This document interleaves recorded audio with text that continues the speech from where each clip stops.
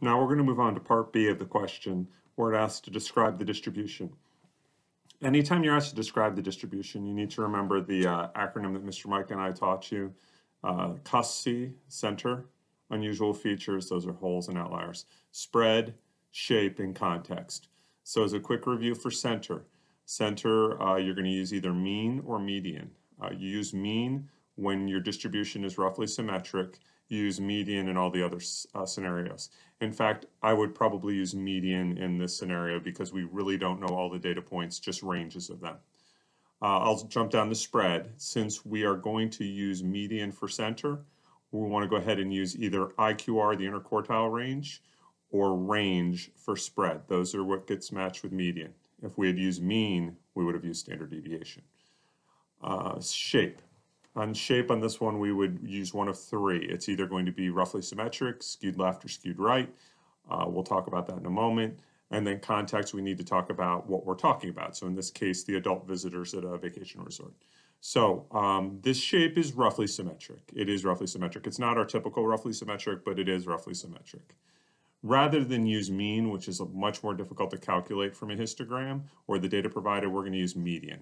And the way that I would figure out the median of this distribution is in the problem, it explicitly says there are 765 like people mentioned here. So the median is going to be the middle. So I'll divide that by two. That's going to give me 383rd person. Um, what I would then do is I would go and I'd count the bars until I found 383. The 383rd person would fall in the 40 to 50 bar. Therefore, the median of the distribution is between 40 and 50 years old. And by putting years old, we hit the context point right away. Since we used median here for the center, we are going to go ahead and talk about spread, and that means we're going to use either the IQR or the range. In this case, the IQR is a little bit difficult to calculate. I, I have the calculation here. I'll let you take a look at it, and you can ask questions if you have any by email. Um, it's a little more complicated to get that, um, but remember that IQR is a number, so it's not just a number to a number, so we wouldn't say 30 to 40 years to 60 to 70 years. We need to figure out the difference between the two. Um, just as a reminder, quartile one is 25% of the way through the data and quartile three is 75% of the way through the data. Uh, in this case, I'm going to go ahead and use range for the measure of center, and the range is max minus min. Again, it's a number, not like a two thing. It's not uh, 20 to 30 years old to 70 to 80 years old. You actually need to go ahead and do the subtraction, and the subtraction is kind of small here.